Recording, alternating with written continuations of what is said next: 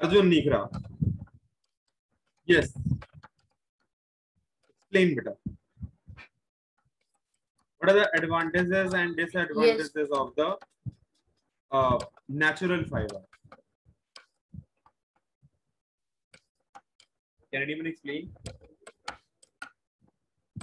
sir मैं sir Kartik sir मैं बता दूँ अरे यार ऐसा मत करो okay I am just Rohit Bajaj.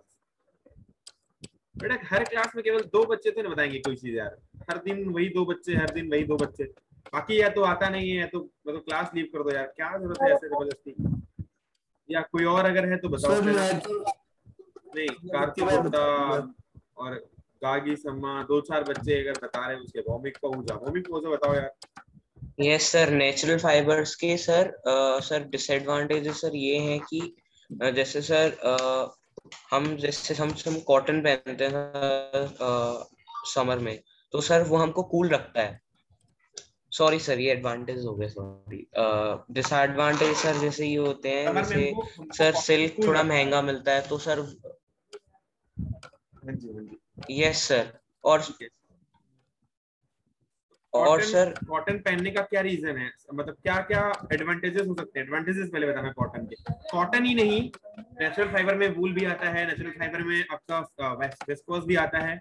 So what is the reason कि हम नेचुरल फाइबर को ज़्यादा यूज़ करते हैं? सर मैं बताऊँ? कि क्यों आते हैं नेचुरल फाइबर हाँ जी बताइए।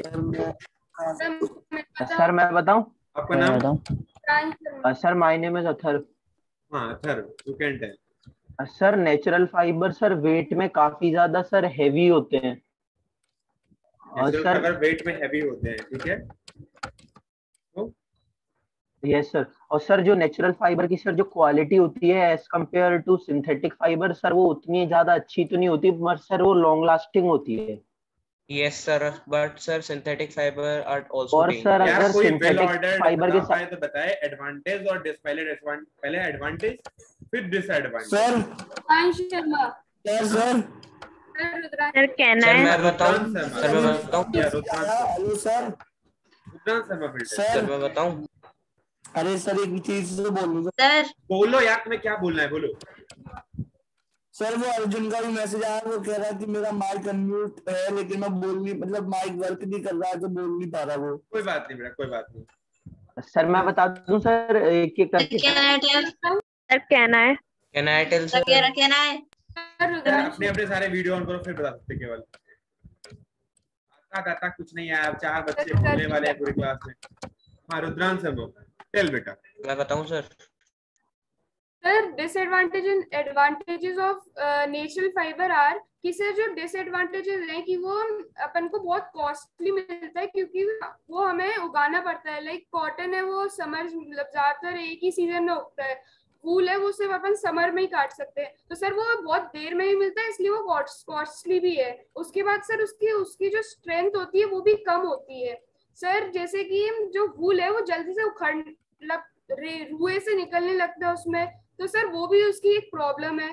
तो सर ये होगा डिसएडवांटेजेस अब जो एडवांटेजेस है कि सर जो कॉटन है वो लॉन्ग लास्टिंग होता है सर। आ, वो लॉन्ग लास्टिंग होता है सर और एक और एडवांटेज है सर कि वो आ, पसीने को एब्जॉर्ब कर लेता है तो अपन को ज़्यादा गर्मी नहीं लगती है सर। हम्म यस सर मैं एक एडवांटेज बता सकता हूँ सर बाकी सारे तो मेरे भी वही सर पॉइंट्स थे जो सर मैं बताऊँ? या हम एक बच्चे को बोल रहे हैं हम सबको बोल देंगे ना आप अपना अपना माइक म्यूट रखो प्लीज़ अब हम पहुँच जाओ सर मैं आ, सर मेरे सारे वही पॉइंट्स थे जो सर रुद्रांश ने बोले तो सर मैं बस एक एडवांटेज और ज्वाइंट कर सकता हूँ। जैसे हम पहनते हैं सर जैसे हम क्लोथ्स पहनते हैं कॉटन जो भी नेचुरल फाइबर्स पहनते हैं तो सर उससे that saves our environment too because जैसे नेचुरल फाइबर्स जो होते हैं वो जल्दी फायर कैच कर लेते हैं और वो हमारी स्किन पे भी स्टिक हो जाते हैं। तो सर उससे हमको भी हार्म पहुँचता है। और जो उसके अंदर से फ्यूम्स निकलती हैं उससे एनवायरनमेंट को भी हार्म पहुँचता है सर ये तो एडवांटेज नहीं हुआ ना? नहीं सर आ, मैं कोई एक्स्ट्रा पॉइंट कोई ऐड करना चाहता है? अक्षत मिश्रा सर मैं बताऊँ सर एडवांटेजेस में? मैं बताऊँ? हाँ हाँ बताऊँ? हाँ हाँ। सर बता रहा अक्षत मिश्रा।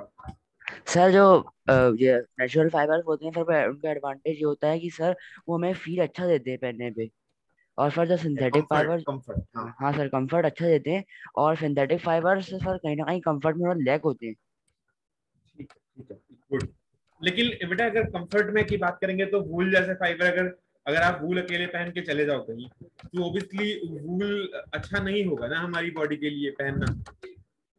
सर सारे नहीं होते हैं। सर सारे नहीं सर लेकिन ज़्यादातर नेचुरल फाइबर जो होते हैं वो ज़्यादा कंफर्टेबल होते हैं as compared to synthetic yes sir अच्छा अच्छा। सर हमको सर जैसे कि सर वूल ज़्यादा गर्मी प्रोवाइड करेगा as compared to synthetic fibre yes sir और सर वो चिपकते भी हैं सर यस सर ठीक है तो क्या वूल जो होते हैं क्या क्या मैं जैसे बोलूँगा केवल वही बताएगा। प्रियांशी रावत क्या वूल में पोर्स होते हैं क्या वूल के के अंदर से जो हमारा स्वेट वगैरह है वो पास हो सकता है वूल के अंदर से? सर? uh, या या। क्या वूल जो एब्जॉर्प्शन क्वालिटी होती है फाइबर्स की क्या वूल उनमें एज अ कॉटन बिहेव कर सकता है? Please on your video first of all already on है। बेटा नहीं ऑन है एक्चुअली चलो कोई बात नहीं। हाँ बताइए। क्या वूल कॉटन जैसा बिहेव करता है या नहीं करता है? जब उसमें हम स्वेटिंग एंड ऑल को पास पास करवाना चाहते हैं या फिर अपने बॉडी पे केवल उस टाइम के लिए या उस दिन के लिए हम पहनना चाहते हैं जब बहुत ज़्यादा स्वेटिंग होगी और हमें थोड़ा सा कंफर्ट चाहिए होगा। तो क्या वूल ऐसा एक्ट करेगा या नहीं करेगा? सर ऐसा एक्ट करेगा क्योंकि वो एक नेचुरल फाइबर है। ठीक है। अच्छा वूल में और जो हमारे पास वूल है कॉटन है और हमारे पास पॉलिस्टर है। तो हमें तीनों के कपड़े बनाने हैं। मैं क्वेश्चन ऐसे दूँगा, मैं मज़ाक नहीं कर रहा हूँ क्वेश्चन आएँगे तो ऐसे आएँगे। मैं सीधे ये नहीं पूछूँगा कि वूल क्या होता है नायलॉन की यूनिट्स क्या होती हैं। मैं पूरा पूछूँगा कि हाँ मेरे को ये चाहिए, मेरे को कंफर्ट चाहिए, मेरे को अब्जॉर्प्शन चाहिए, मेरे को ये चाहिए, मेरे को वो चाहिए, जो भी चाहिए होगा मैं बताऊँगा और उसके अकॉर्डिंग आंसर देना होगा। तो मैं आपसे पूछ रहा हूँ कि अगर मान लो पॉलिस्टर अवेलेबल है कॉटन अवेलेबल है और हमारे पास वूल अवेलेबल है। और हमें अगर इन तीनों चीज़ों को यूज़ करना है ऐसे समय पे जब बारिश हो रही हो। तो कैन एनी वन एक्सप्लेन कि हम कौन सा कपड़ा, कौन सा फैब्रिक यूज़ करूँगा? मैं पूछूँगा जिससे वही बताएगा। Atharv Mahant yes just tell me कि अगर मेरे को तीन टाइप के फैब्रिक हमारे पास अवेलेबल है, एक पॉलिस्टर का, एक कॉटन का और एक हमारे पास वूल का। और बारिश हो रही है तो मैं क्या पहनना ज़्यादा पसंद करूँगा? सर पॉलिस्टर वाई सर इसलिए क्योंकि सर जो पॉलिस्टर है सर वो वाटर को एब्जॉर्ब नहीं करता है और सर वो वाटर को मतलब इजीली फ्लो होने देता है। मतलब बाहर ही बाहर से सर वाटर उसके से सिंक हो जाएगा अंदर की तरफ़ नहीं आएगा। Okay can anyone modify it? Yes sir आप एक बार क्वेश्चन रिपीट कर दोगे सर? बेटा हमारे पास पॉलिस्टर वूल और कॉटन तीनों की अवेलेबिलिटी है और मैं चाहता हूँ बेटा ये क्वेश्चंस आएँगे क्वेश्चन इसलिए मैं, मैं बता रहा हूँ और मॉड्यूल्स में नहीं है। इसलिए मैं बता रहा हूँ आपको और याद रखना चीज़ों को। मैं बात में मत बोलना कि मेरे को कैसे दे दिया कहाँ से दे दिया कब दे दिया। तो मैं इसके लिए तो डीवीपी दे दूँगा लेकिन फिर भी आपको आना चाहिए एटलीस्ट हाँ। सो हर्षित जैन या जो भी हो अब मैं एक बार पूछ रहा हूँ यही कि बेटा हमारे पास तीन टाइप की चीज़ें अवेलेबल हैं पॉलिस्टर कॉटन और वूल और मैंने ये पूछा था कि कौन सा टाइप का फैब्रिक हम यूज़ करेंगे ऐसी कंडीशन में जब बारिश हो रही होती हो? पॉलिस्टर वूल का मिक्सचर यूज़ कर सकते हैं। हाँ जी। वूल का मिक्सचर यूज़ कर सकते हैं हम लोग। I am not talking about a blending mixture मैं बोल रहा हूँ केवल मुझे एक टाइप का फैब्रिक यूज़ करना है तो मैं सबसे अच्छा फैब्रिक कौन सा होगा मेरे लिए? सर हम कॉटन यूज़ करेंगे। क्यों? क्योंकि क्योंकि उसकी हाईएस्ट वाटर एब्जॉर्बिंग है तो फिर वो वाटर को जल्दी एब्जॉर्ब कर लेगा। बेटा अच्छी बात नहीं है ना हमारी बॉडी के लिए अगर वाटर एब्जॉर्ब हो गया हमारे कपड़े में तो फिर तो दिक्कत की बात है आपका चेस्ट वगैरह या फिर जैसे भी आपके बॉडी में या फिर नेक पे या फिर मान लो अब किसी ने सर पे तो कैप लगा रखी है अगर कैप ने एब्जॉर्ब कर लिया वाटर तो वो वाटर को अगर एब्जॉर्ब कर लेगा बाहर से तो इतना भी तो उसमें दम है ना कि वो अपने अंदर से आपके सर में भी ला दे वाटर को। इतना भी तो कर सकते हैं ना जबकि सर में लगातार वाटर का टच होना अच्छा नहीं है। आप घर से बाहर जाते हुए तो कहते होंगे कि एटलीस्ट सर तो ढक लो। ऐसा होता है ना? तो सर में जाना तो अच्छा नहीं है तो मैं कौन सा यूज़ करूँगा? मेरे पास बरसात हो रही है यार। तीन टाइप के डिफरेंट डिफरेंट फैब्रिक है अवेलेबल एक कॉटन के एक वूल का और एक पॉलिस्टर का। मैं क्या चाहूँगा कि मुझे क्या यूज़ करना सबसे अच्छा रहेगा? हाँ Rudransh Sharma you can explain sir हम पॉलिएस्टर यूज़ करेंगे क्योंकि सर जो वूल है सर उसको बारिश समय में यूज़ करना चाहिए। जो कॉटन है, वो एब्जॉर्ब करेगा पानी को और वो जल्दी सूखेगा भी नहीं और आपको भी गीला कर देगा।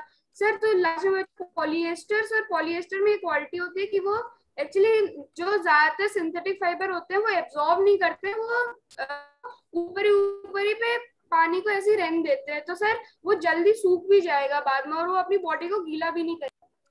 ठीक है मैडम मैं एक्सप्लेन करता हूँ। देखो हमारी बॉडी को ज़रूरत नहीं है कि हमारी बॉडी में पानी जाए उस वक्त जिस वक्त बारिश हो रही हो। और लोग चाहते भी है कि यार जो जब आप कहीं भी स्विमिंग पूल वगैरह में भी जाते हो तो आप ट्राई करते हो कि उस वक्त कोई आप सिंथेटिक चीज़ पहनो।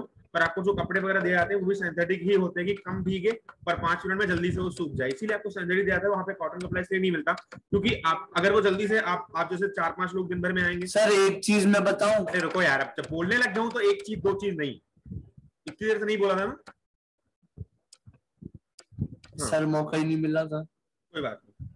तो बेटा वहाँ पे क्या होता है हमें सिंथेटिक कपड़े दिए जाते हैं ज़्यादातर। अगर आप ट्रैक सूट वगैरह आप जाते हो तो मिलता हो। तो ट्रैक सूट सिंथेटिक ही होता है। होता क्या है कि जल्दी से वो सूख जाता है, फिर कोई मान लो नया कैंडिडेट आया, उसको दे दिया उठा के, फिर कोई नया कैंडिडेट आया तो जल्दी से सूख गया होता है, फिर से उसको दे दिया। अगर भाई कॉटन हो तो पता लगा कि दिन भर में अगर एक हज़ार कैंडिडेट आ रहे हैं स्विमिंग पूल में नहाने के लिए तो एक हज़ार अलग अलग कपड़े चाहिए होंगे, क्योंकि एक दिन में वो सूखेगा ही नहीं ड्राई ही नहीं होगा। दूसरी बात, जब आप किसी पानी में अगर आप जा रहे हो तो या फिर आप बारिश के सीज़न में बाहर जा रहे हो तो ये ट्राई करते हो कि आपको कम से कम बारिश या कम से कम बारिश का पानी आपके बॉडी तक जाए। तो अगर आप बॉडी पे कोई ऐसी चीज़ लगा लोगे जो वाटर रेजिस्टेंट होगी या फिर वो वाटर को एब्जॉर्ब नहीं करेगी तो अच्छा होगा। तो अगर आप पॉलिस्टर के कपड़े लगाओगे तो बहुत कम बहुत कम ऐसा होगा एब्जॉर्प्शन होगा। वो भी एब्जॉर्प्शन उसके पोरस में या फिर यान के बीच में जो स्पेस होते हैं उसमें या फिर जो फैब्रिक बनाते टाइम यान को बीप किया गया है, उसके बीच में जो जो जो चीज़ें हैं उसके बीच में जो स्पेस है, उसमें केवल जाके वाटर भर जाता है। तो हम ऑब्वियसली उस वक्त यूज़ करेंगे। Just wait, बेटा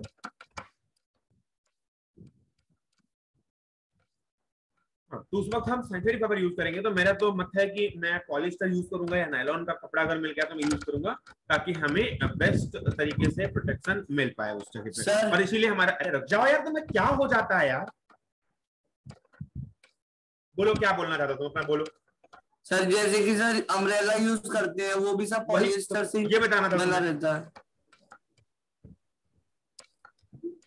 अम्ब्रेला वगैरह यूज़ करते हैं वहाँ पर हम इसीलिए पॉलिस्टर यूज़ करते हैं क्योंकि वो वाटर को एब्जॉर्ब ना करे या चीज़ें जो हमारे हमारे आसपास कभी देखते हुए कि आप घर के ऊपर अपने पन्ने डाले हुए कहीं पे जहाँ पे सिड्डी वगैरह होती है वहाँ पे आप ट्राई करते हो अगर मान लो किसी के घर में या कहीं पे घर बन रहा है तो वो ट्राई करता है उसको पॉलिथीन से ढक दे या पन्नी से ढक दे तो उसके अंदर पानी ना पास कर पाए।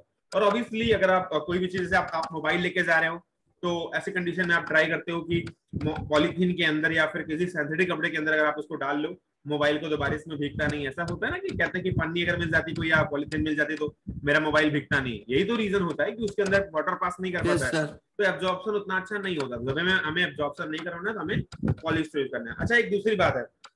अगर हमें आ, हमारे पास अवेलेबिलिटी है पॉलिस्टर की कॉटन की विस्कॉस की और वूल की। और हमें वार्मथ कंडीशन जनरेट करनी है या फिर अपने बॉडी में वार्मथ जनरेट करनी है। और कंफर्ट की बात नहीं है हम कंफर्ट के लिए कुछ भी कर सकते हैं। कंफर्ट को चलो हम एक बार कुछ देर के लिए अगर साइड में रख दें तो हम अगर वार्मथ एक हमें कंडीशन है जिसको हम डेवलप करना चाहते हैं और हमारे पास एक्राइलिक भी अवेलेबल है तो हम कौन कौन से फाइबर्स को यूज़ कर सकते हैं? Sir can I tell can I tell what is your name can I tell sir Rohit Bajaj या रोहित बजाज प्रियांशी रावत रोहित बजाज सर अब भैया सर अपन माइक और माइक कैमरा सब ऑन रखना भैया। बताइए अब। सर अपन वूल भी यूज़ कर सकते हैं और सर एक्रेलिक इसलिए यूज़ करेंगे क्योंकि सर एक्रेलिक अपन को सस्ता मिलेगा वूल से। और सर इसलिए क्योंकि sir wool sir warmth produce करता है हीट प्रोड्यूस करता है सर।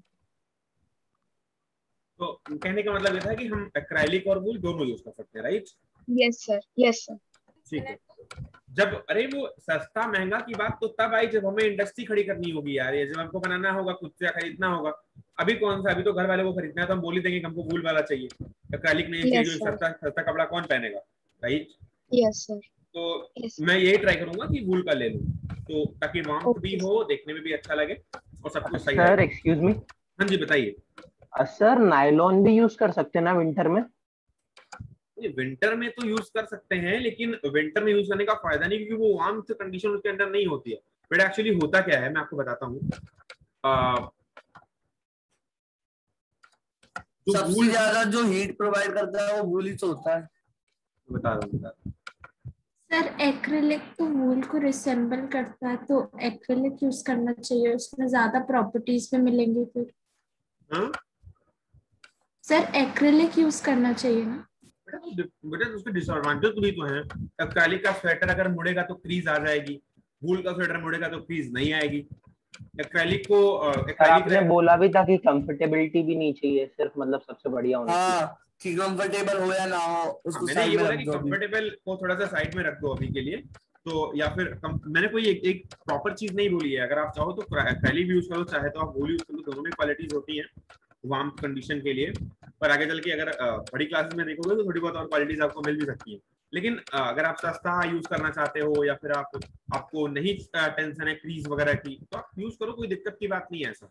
लेकिन हाँ एक्रेलिक एक बहुत बड़ी रिप्लेसमेंट करता है वूल क्योंकि वूल इतनी अवेलेबिलिटी नहीं थी इसलिए एक्रेलिक का यूज़ आया और एक्रेलिक आज बहुत ज़्यादा मात्रा में यूज़ किया जाता है। चलो कोई बात नहीं। अगर हमें अ, हमारे पास अ, तीन टाइप के फाइबर है एक है कॉटन एक है विस्कॉस और एक है सिल्क हमें अपनी बॉडी में कुछ आ, मतलब ऐसा ऐसा कपड़ा पहनना है जिसपे लाइट पड़े तो लस्चर डेवलप हो या कुछ साइनिंग हो Can anyone तो बताएँ। explain? Can anyone explain which type of fiber can be used? Kartik Sharma, yes. Sir silk Why? Sir silk जो होता है वो शाइन बहुत प्रोवाइड करता है लश्चर भी होता है वो। तो सर वो सर अपन को सर महँगे अभी तो कुछ मतलब नहीं है वो महँगा आता है वो बात अलग है। और वो सर कंफर्टेबल भी होता है सिल्क। हाँ? एज कंपेयर टू कॉटन और विस्कॉस सिल्क कंफर्टेबल भी होता कंफर्टेबल भी होता है। अच्छा अच्छा। चलो ठीक है। तो ये हमने थोड़ी थोड़ी प्रॉपर्टीज़ पढ़ी हैं। और अगर हमें स्ट्रेचेबिलिटी चाहिए मेरे पास कॉटन है और मेरे पास कॉटन है नायलॉन है और हमारे पास वूल है। और हमें स्ट्रेचेबिलिटी चाहिए अपनी बॉडी के लिए और थोड़ा सा स्ट्रेंथ चाहिए। So which type of fibre can be used sir nylon ऐसे बुझने वाली बात नहीं। ये सर ये can can it be can it be बोल रहा हूँ एक आंसर किसी को एग्जैक्टली exactly पता है तो दे कैन टेल हाँ कार्तिक शर्मा। हाँ जी बताइए। Sir nylon. सर आपने सर एक एग्जांपल देकर भी समझाया था कि नायलॉन को अगर अपन ले लें और एक आयरन के वायर को ले लें तो जो आयरन का वायर वो टूट सकता है नायलॉन का वायर नहीं नहीं बेटा नहीं सकता। नहीं नहीं नायलॉन के लिए नहीं कहा था। हमने सिल्क और स्टील का समझाया था। गलत और आपने सिल्क और मेटल बताया था।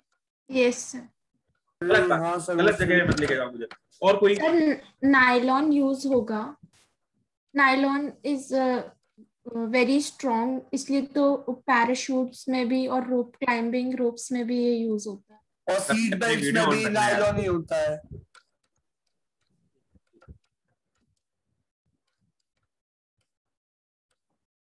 चलो और कोई कोई चीज़ कोई एक्स्ट्रा चीज़ सर मैं तो- बताऊँ सर?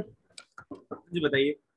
सर नायलॉन ही यूज़ होगा क्योंकि सर जो नायलॉन होता है सर नायलॉन ज़्यादातर क्या बोलते हैं स्ट्रेचेबिलिटी के लिए प्लास्टिक्स वगैरह में भी यूज़ होता है और सर वो बचा twenty five to fifty percent तक स्ट्रेच हो सकता है।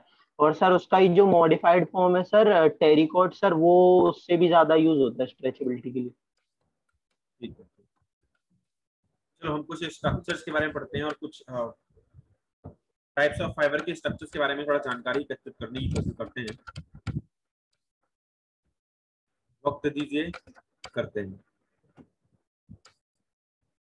मतलब समझ में आ रहा है ना कोई दिक्कत तो नहीं है यार किसी को? मतलब ऐसा हो कि बहुत ज़्यादा अजीब चीज़ें चल रही हैं। नो नो कल को बोलो कि सर आता ही नहीं है। हाँ जी?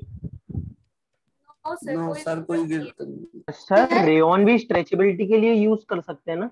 लेकिन हमने रेवन एग्जांपल में दिया नहीं था। तो सबसे बेस्ट तो सर सर नायलॉन और नायलॉन दोनों दिए हो फिर हम प्रॉपर्टी ही पढ़ने जा रहे हैं। अगर आपको कंपेयर करना है तो थोड़ी बहुत देर बाद प्रॉपर्टी को पढ़ के आप कंपेयर कर भी सकते हैं थोड़ी चीज़ें। पर सर अपन लोग ज़्यादा प्रेफर नायलॉन को करेंगे ना? क्या? सर जैसे अभी कार्तिक ने पूछा कि सर रेयन और नायलॉन दोनों तो सर अपन ज़्यादा प्रेफर नायलॉन को करेंगे ना? हाँ रेयन थोड़ा सा महँगा भी आता है नायलॉन से।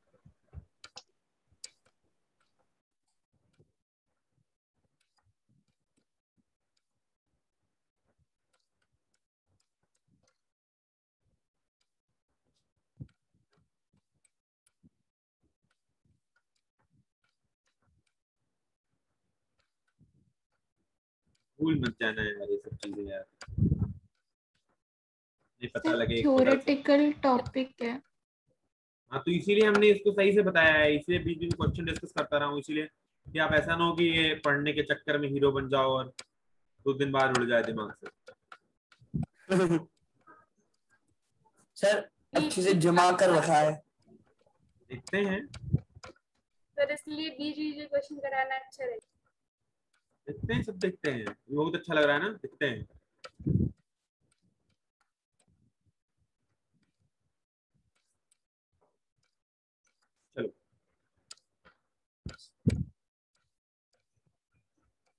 अलग बातें करते हैं। हमने क्या क्या डिस्कस किया? कौन कौन से फाइबर अभी तक डिस्कस किए?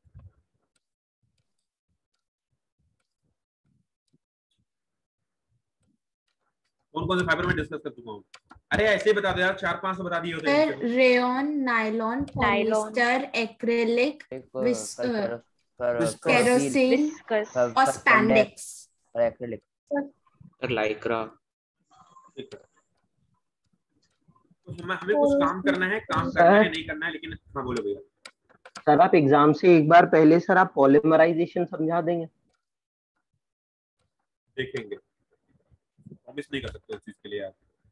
चलो तो मटेरियल रिक्वायर्ड एक्टिविटी तो एक बार, इसलिए मैं कह रहा हूँ कि ध्यान से देखते रहना मतलब ऐसा नहीं कि हम रिपीट करेंगे बार बार। तो पहले हमने करना क्या है? कुछ हमें वेरियस क्लॉथिंग मटेरियल के फाइबर्स को लेना है, जैसे कॉटन को लेना है सिल्क को लेना है वूल को लेना है रेन को लेना है नाइलॉन को लेना है पॉलिस्टर को लेना है, ठीक है? Place fiber on the glass slide and observe them with the help of magnifying glass of a microscope. Actually, करना आपको नहीं है, लेकिन ये किया गया है, उसके अकॉर्डिंग क्या इसमें मिला है, मैं आपको बता रहा हूँ, इन तीन कुछ फाइबर्स को लिया गया और जब इनको माइक्रोस्कोप पे अगर एक ग्लास लाइट पे रखे ग्लास लाइट में विजिबिलिटी अच्छी आती है, इसलिए ग्लास लाइट पे जब इसको रख के माइक्रोस्कोप से विजिबल विजिबिलिटी इसकी चेक की गई तो जब ऑब्जर्वेशन किया गया तो ये चीज़ें कुछ मिली हैं जो मैं आपको, आपके सामने डिस्कस करने आपके सामने पेश करने की कोशिश कर रहा हूँ पहला है कॉटन। कॉटन में जो स्ट्रक्चर है, वो कौन सा होता है? कॉटन थोड़ा सा स्ट्रक्चर इसका जो है थोड़ा शॉर्ट होता है अनइवन होता है। अनइवन का मतलब बेटा, क्या होता है मैं आपको बता देता हूँ। अब जैसे मान लो, कोई रस्सी है, मान लो। अब वो कहीं जाके ऐसे हो, अब मान लो इतनी मोटी रस्सी है यहाँ पे। कहीं जाके ऐसे हो गई, फिर ऐसे हो गई।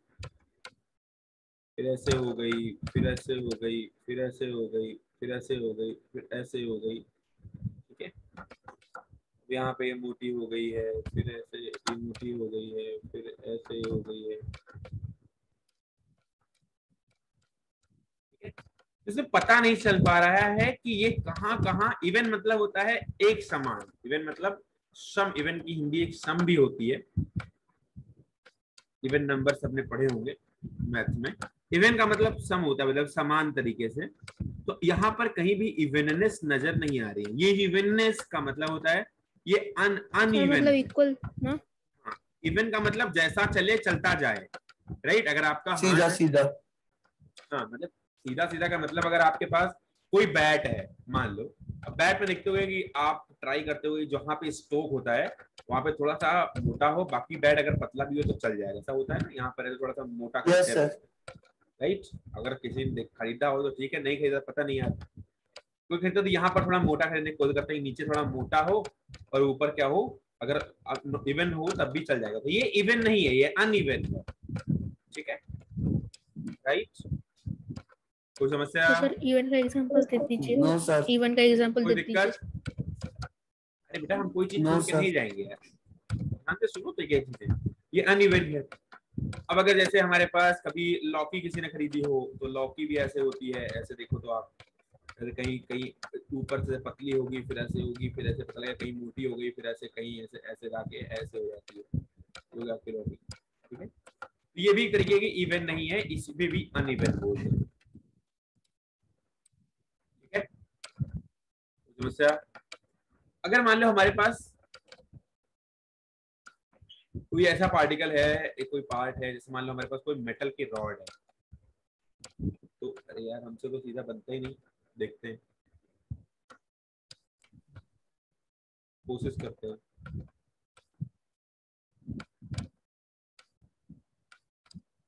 सर आज आप बिना टैबलेट के पढ़ा रहे क्या? नहीं नहीं।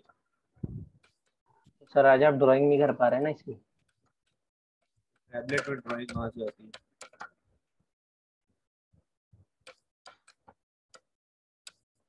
अरे गजब हो गया है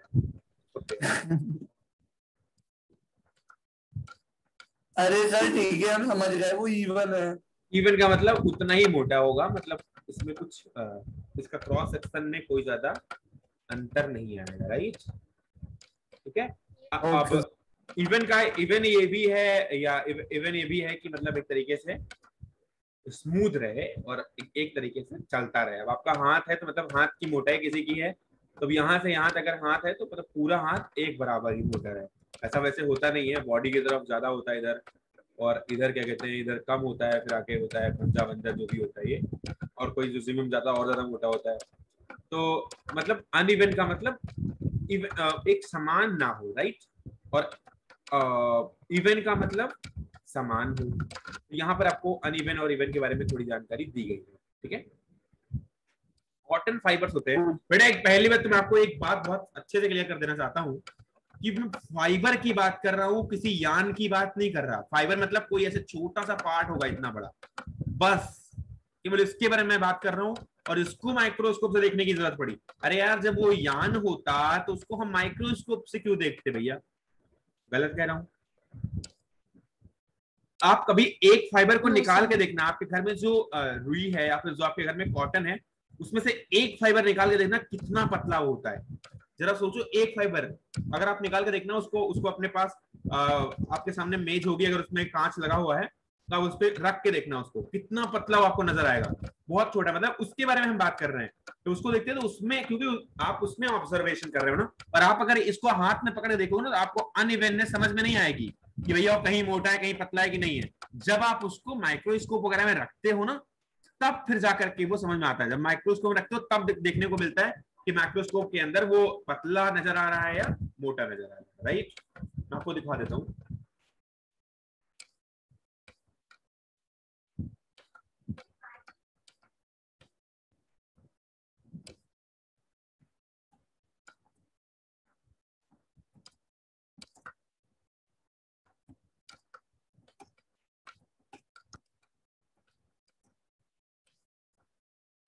देखो भैया।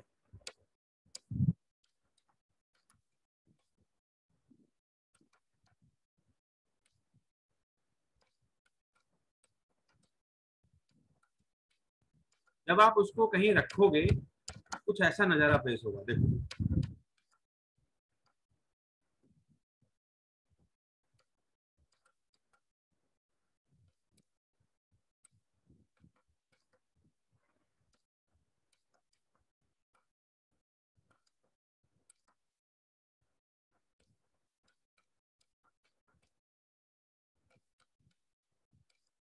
ऐसा अब देखो यहाँ पे कहीं पतला है कहीं पे ये मोटा बेटा इस पे कर्सर दिख रहा है ना? यस कहीं पे पतला है कहीं पे यहाँ पे मोटा है कहीं पे पतला है। इसको इसको आप एक फाइबर को देख रहे हो? जब आप एक फाइबर को देखोगे तो ऐसे कहीं कहीं मुड़ा हुआ होगा कहीं ऐसे फिर सीधा होगा फिर कहीं मुड़ा हुआ होगा। इसमें कहीं मुड़ा हुआ है फिर सीधा है फिर कहीं मुड़ा हुआ है। तो ये इसका माइक्रोस्कोपिक व्यू है ठीक है? जब आप माइक्रोस्कोपिक व्यू उसका चेक करोगे तो कुछ ऐसा है जो काम की चीज़ है, इसको हम लिख लेते हैं इसको रख लेते हैं बाद में काम होगा तो जब आप माइक्रोस्कोपिक व्यू देखोगे तो कुछ ऐसा माइक्रोस्कोपिक व्यू इसका बन करके आएगा राइट कॉटन का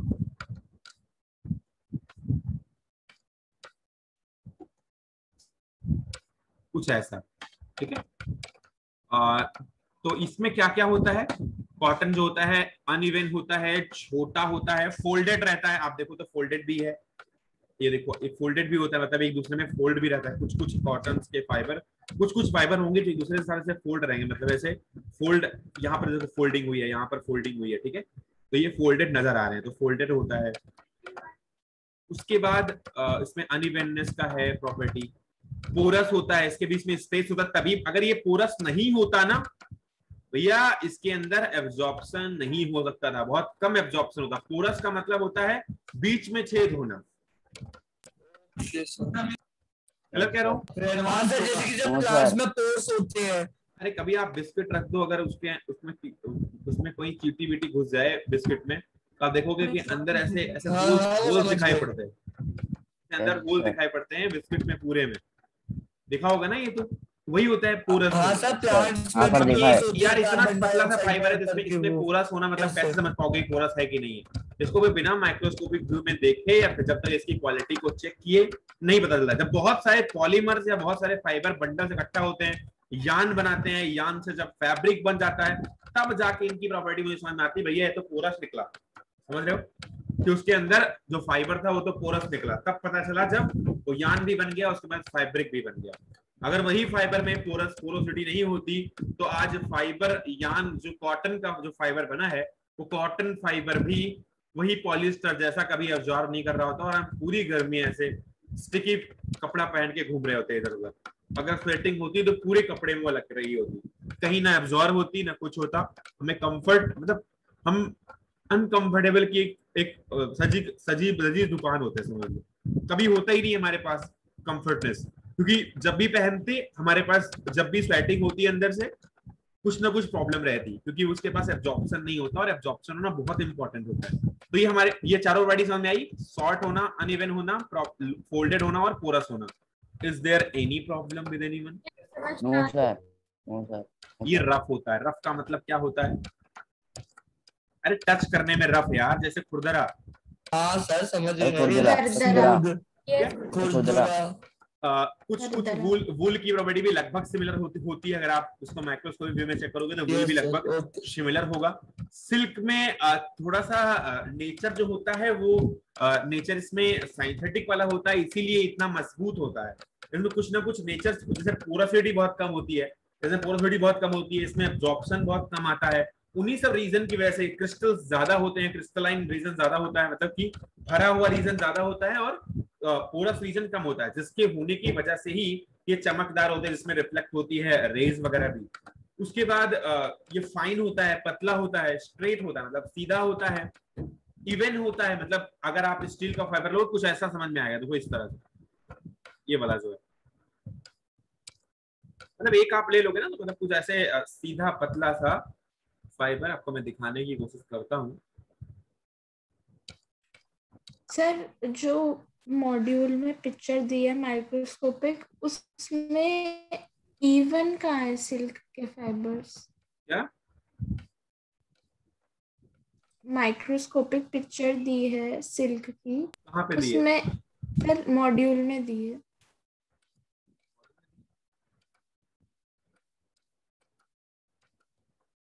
ये वाली यस सर इसमें फ़र्क क्या है कॉटन और सिल्क में? बेटा ये सिल्क बंडल्स है आपको पता ही नहीं चल पाएगा ऐसे सिल्क कौन है और कॉटन कौन है और क्या सर की नीचे देखिए नीचे। साथ में है, इसके नहीं पता चल रहा से ये वाला? यस सर यस सर अरे वो मुड़ा हुआ है आपको एक पता फाइबर की एक फाइबर का मतलब एक फाइबर निकाल के देखना है आपको दिखा रहा हूँ चलो silk fibre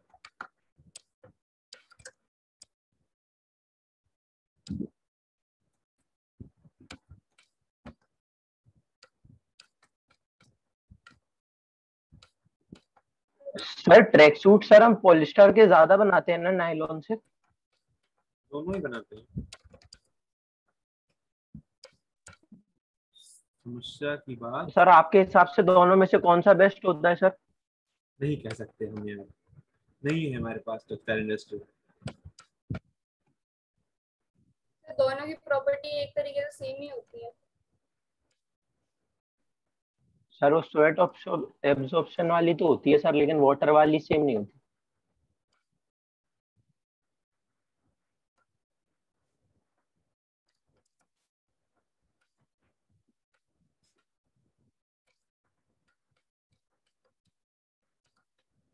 चीज़ें खोज खोज के बता रहा हूँ, अगर भूल गए वक्त पे, या इससे बुरे दिन कभी नहीं आएँगे।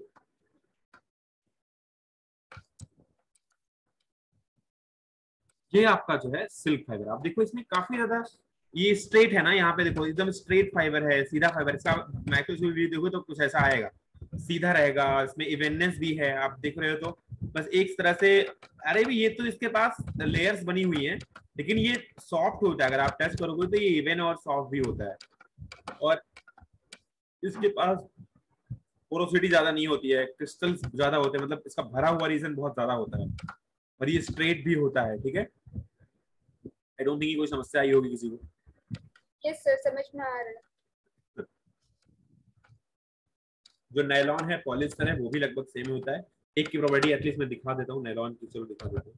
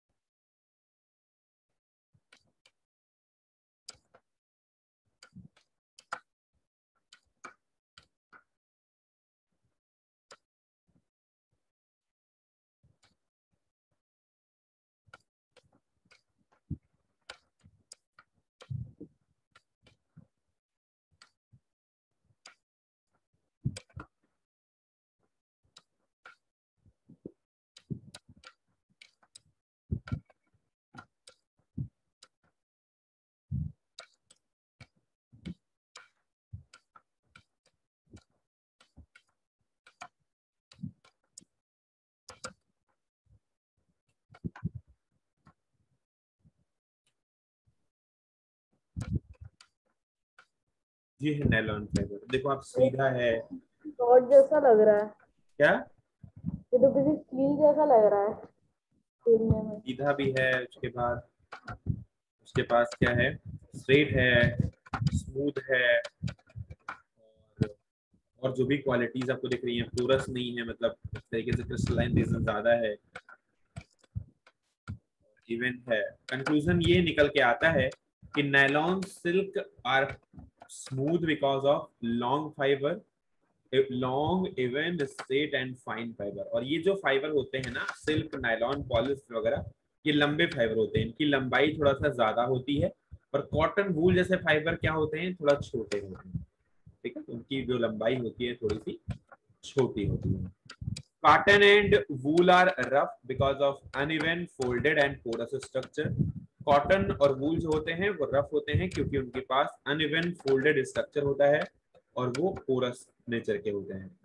और कुछ और भी करना चाहते हो तो ये भी देख लेना एक। एक्चुअली आप कर तो नहीं सकते तो मैं आपको थोड़ा बहुत बता देता हूँ। आप क्या करना, आपको मटेरियल क्या ज़रूरत पड़ेगी, आप देखना दस सेंटीमीटर लॉन्ग फाइबर आप कॉटन ले लेना रेन लोगे वूल लोगे सिल्क लोगे नायलॉन लोगे पॉलिस्टर एक्रेलिक और एक लैम्प ले लेना, जिसमें थोड़ा थोड़ा आग निकलती हो। तो स्पिट लैम्प के पास क्या करना है आपको light light the spit lamp and candle candle the place it on the table next to it place a play of china clay or glass so hold a cotton fiber in the fire tongs and then hold it over the flame so till it catches fiber shift the burning fiber china clay plate and make observation till a small amount of it is left so, uh, मैं आपको दिखा देता हूँ actually इसको एक बार मैं show करने की कोशिश करता हूँ कैसे होता है इसका जो भी क्वालिटी है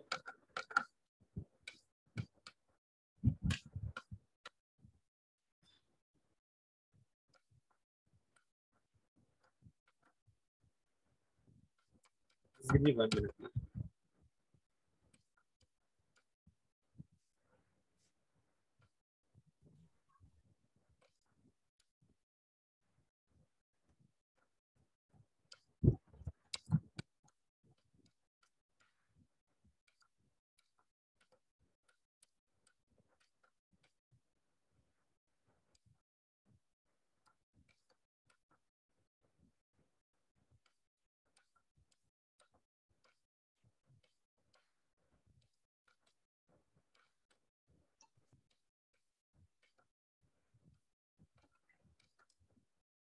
कैसे करना है इसको?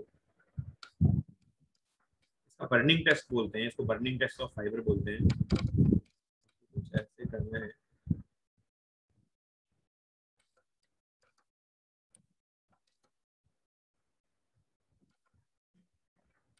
कॉटन फाइबर कुछ ऐसा दिख होगा। तो आप इसको टेस्ट करोगे तो बर्निंग के लिए लेके जाओगे। फ्लैक्स नेचुरल सेलुलोजिक फाइबर है। बर्न्स डजंट मेल्ट ये मेल्ट नहीं होगा केवल जलेगा। स्मेल्स लाइक बर्निंग पेपर और वुड और बर्निंग पेपर या वुड जैसी इसकी स्मेल होगी और रेसिड्यू भी जो इसका होगा वो फाइन ग्रेस एसिड की तरह होगा। अब आप देखते हैं आके देखते हैं कि फ्लैक्स में क्या होता है। अब इसमें देखते हैं। ये भी बंद कर जाएगा। सर एक्सक्यूज मी यार बोलो मत यार please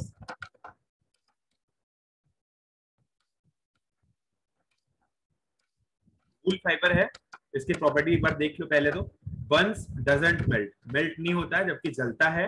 Strongly smells of burning hair और अगर इसको हम जलाएँगे तो बर्निंग हेयर जैसी स्मेल आएगी।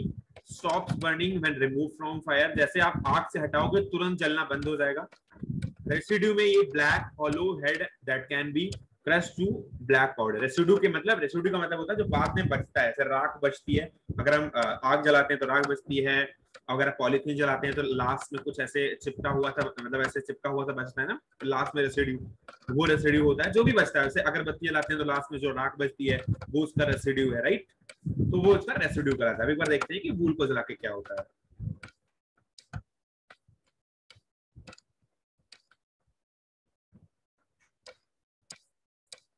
जलाया, लेकिन जैसे बाहर निकाला, तुरंत बंद हो गया, देखो। जलाया, जैसे बाहर निकाला, तुरंत बंद हो गया। मतलब हाँ देखो बाहर निकालेंगे तो बंद हो जाएगा। मतलब ऐसा नहीं कि जलता जाए जलता जाए कॉटन जैसे फाइबर्स की तरह। अगर आप सोचो अगर मैं बत्ती बत्ती बना लू तो वो ज़्यादा देर तक काम नहीं करेगी भूल की। क्योंकि उसमें जलते रहने की प्रॉपर्टी नहीं होती है कि हमेशा चलता रहे। अब आप सोचो दीपावली पे अगर आप बना रहे हो बत्तियाँ तो आप अगर भूल की बना लो तो कितनी देर तक जलेगी? एक आध मिनट तक जलेगी। एक, एक मिनट तक आधा मिनट तक जलेगी उसके बाद जैसे उसमें अपने आप में वो बंद हो जाएगी जब तक दूसरे की फ्लेम नहीं। अब सिल्क फाइबर में है इसकी प्रॉपर्टी सर लेकिन तेल वगैरह डालेंगे तो तो सर चल सकती है ज़्यादा। कैसे जल जाएगी यार? फ्लेम में नहीं जलेगी करके देख लेना घर पे यार। एक्स्ट्रा मटेरियल डाले पेट्रोल वगैरह छिड़क दो उस पर पूरे में तेल रखे हो तो फिर तो जली जाएगी। लेकिन जैसे बत्ती करते हैं अगर बत्ती में बनाओ उसकी तो ऑब्वियसली वो नहीं जलेगी क्योंकि जो ऊपर का साइड होता है उसमें उतना ज़्यादा ऑयल नहीं होता है।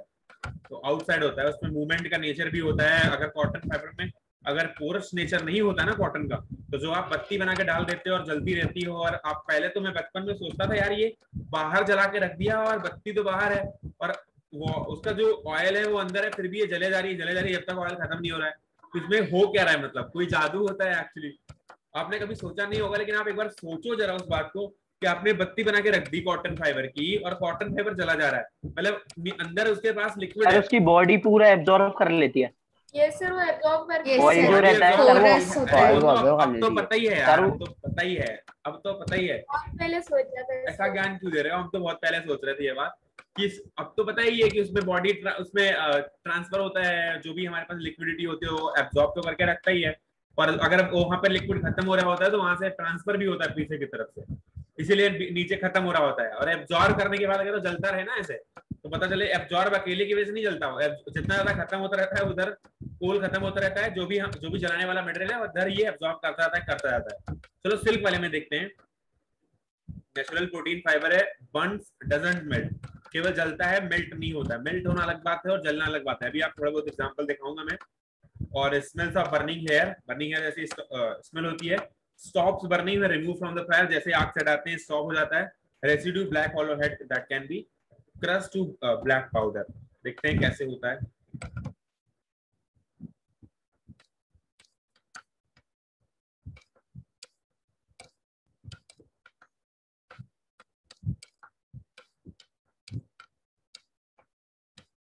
ठीक है सर।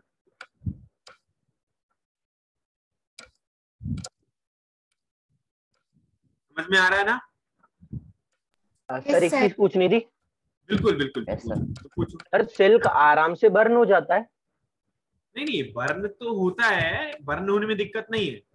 लेकिन जब तक उसको फ्लेम मिलेगी कोई एक्सटर्नल फ्लेम मिलेगी तभी वो या कोई एक्सटर्नल सोर्स मिलेगा तभी ओपन करेगा। ऐसा नहीं कि वो अपने आप में बना जैसे कॉटन है। क्योंकि मम्मी लोगों की सर साड़ी तो बहुत जल्दी जल जाती है। अगर अगरबत्ती भी लग गई सर तो भी जल जाती है। तो यार अगरबत्ती एक एक्सटर्नल सोर्स है ना यार। अगरबत्ती जैसे हटाओगे वैसे बंद हो जाती है।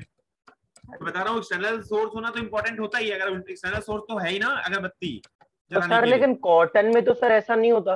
क्या कॉटन में नहीं होता? सर कॉटन में सर लगाएँगे तो सर इतनी जल्दी सर नहीं रिएक्ट करता वो थोड़ी कॉटन देर में से भी तेज होता है आप देख लेना करके। स्टार्टिंग भले सिल्क की कम होती है लेकिन अगर आप सिल्क को एक बार आग लगा दोगे तो थोड़ी देर बाद जल के बंद भी हो जाएगी। मतलब थोड़ी देर फ्लेम जब तक लगेगी फ्लेम हाँ सर जल के बंद हो जाता है लेकिन सर जल्दी जलना स्टार्ट हो जाता है। तो वही तो बता रहा हूँ इतनी देर से मैं। बात है चलो पॉलिस्टर में यहाँ पे थोड़ा सा डिफरेंट चीज़ें आएँगी। अब क्योंकि हम सैनिटरी मटेरियल की तरफ़ बढ़ रहे हैं तो यहाँ पर अब जलना वलना थोड़ा सा कम होगा। और स्ट्रिंग्स फ्रॉम द हीट जब इसमें हीट देते हैं स्विंग कर जाता है मेल्ट कर जाता है बर्न भी करता है, और कैन ड्रिप और ड्रिप भी करता है। तो इसमें केमिकल जैसे स्मेल होती है और स्वीट होती है। रेसिड्यू में हार्ड क्रीम और ब्लैक कलर का कुछ देता है। और that can not be crush और उसको क्रश नहीं किया सकते जैसे आपको जैसे आपका पॉलीथीन जलता है तो जलने के बाद ऐसे उसको आप क्रश नहीं कर सकते। क्रश का मतलब होता है ऐसे आग जले उसको क्रस कर दो उंगलियों से राइट अरे यार आग से उंगलियों का मतलब उंगलियों को अरे यार कैसे बताऊँ तुम्हें? ये सिर्फ़ समझ आ गया। क्रश करने का मतलब क्या होता है? उंगलियों में ऐसे करोगे तो वो राख बन जाए एक तरीके से। तो अब आप अगर पॉलिस्टर का यूज़ करोगे तो ऑब्वियसली वो चिपक के रहेगा उसको आप क्रश नहीं कर सकते इतनी जल्दी। वो टाइट सा कुछ पार्ट बनाता है ऐसे आप पॉलीथीन वगैरह कर, करो ना। बचपन में किसी ने बॉल वगैरह अगर बनाई बनाई हो पॉलीथीन की तो उसको पता होगा। नहीं बनाई हो तो नहीं पता होगा। किसी ने बनाई है? सर क्या? किसी ने बचपन में पॉलीथीन की बॉल बनाई है? यस सर बनाइए हाँ। ये से बनाइए पता नहीं यार अब पॉलीथीन बहुत ज़्यादा लग जाती है उसमें, ऐसे तो बहुत दिक्कत होगी बनाने में।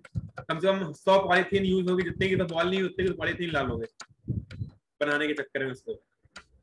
तो पॉलीथीन बहुत सारा यूज़ होगा, और उसके बाद पॉलीथीन जब क्या करते हैं, उसको जलाते हैं तो उसको गोला बना देते हैं। गोला बनाते जाते बनाते जाते, उसके बाद फिर पॉलीथीन डालते हैं, फिर गोला बनाते हैं। ऐसे बनाते बनाते हमारी बॉल तैयार हो जाती है। वो ऐसा नहीं कि अगर वो क्रश हो रही होती, पता चलता बॉल को एक बार पटका, पूरी क्रश हो गई। एकदम राख बन गई तो फिर मतलब ही क्या निकला बॉल बना के उसका। तो यही तो नेचर है पॉलीथीन वगैरह का पॉलीमर का, या फिर हमारे पास जो सिंथेटिक मटेरियल है उनका। तो ये पॉलिस्टर है। देखते हैं क्या होता है इसके अंदर।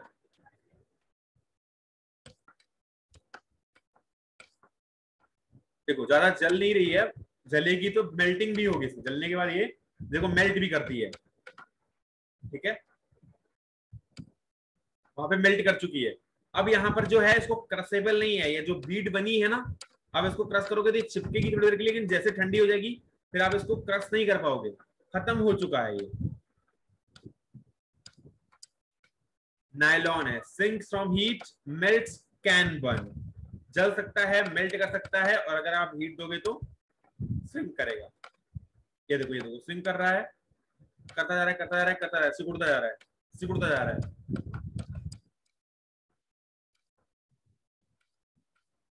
सर ये तो प्लास्टिक की तरह हो रहा है।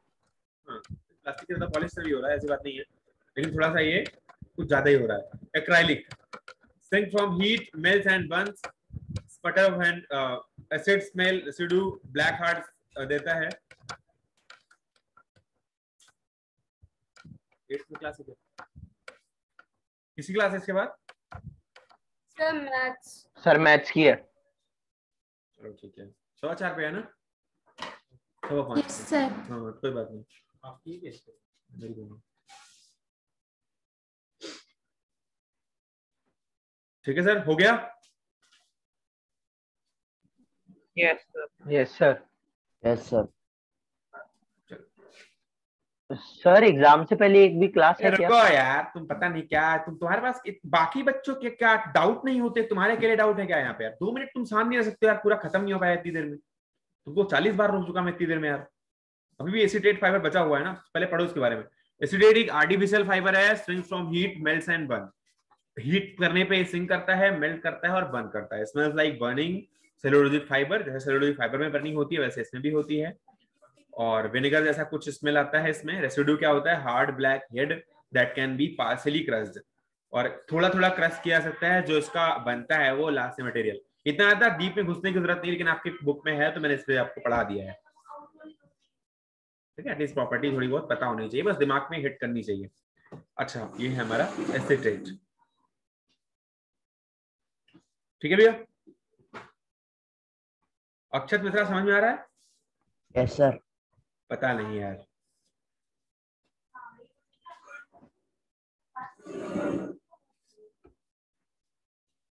ठीक है, होगी प्रॉपर्टीज़ सारी।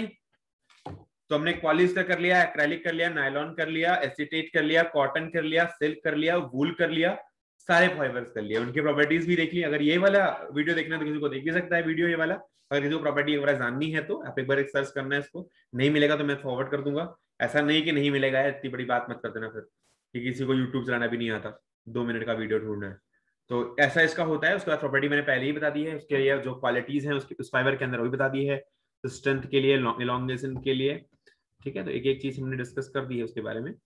बाकी आपका फाइबर इसी के साथ, यहाँ पर यही चीज़ लिखी हुई बेटा ऑब्जर्वेशन के नीचे, यहाँ पर जो मैंने वहाँ पर वहाँ पर है, वही चीज़ें यहाँ पर लिखी हुई है। Burns regularly produce large flame ये, वो, ऐसा, वैसा तो सारी चीज़ें जो ये लिखी हुई है, सब वही है। चाहे तो आप इसको उतार सकते हैं, जिस हिंदी भाषा में, और चाहे आप चाहें तो उसको पढ़ सकते हो। मेरा तो सजेशन रहेगा कि पढ़ के इसको प्रैक्टिस करो तो ज़्यादा अच्छा रहेगा। उतारने से कुछ होता होता नहीं।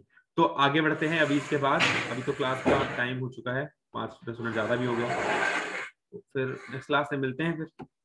ठीक है? Thank you sir thank you sir thank you sir bye sir bye sir thank you sir कोई दिक्कत तो नहीं? फिर से नहीं समझना इस चीज़ को? सर समझ में अच्छे से समझ में समझ में अच्छे से आ हाँ? गया। तो समझ में आ गया है अच्छे से। सर एसिटेट और फ्लैक्स बुक में दिए हैं क्या? नहीं हो तो देख लेना अगर हो तो कोई दिक्कत नहीं है अगर नहीं है तो बाहर से देख लेना। यार ये सब कोई बात नहीं है चलो। ठीक है बेटा। Yes sir bye sir thank you sir bye Rudran Sharma ठीक है? ठीक ठाक है ना सब? यस सर ठीक ठाक है। चलो देखते हैं फिर। Bye bye sir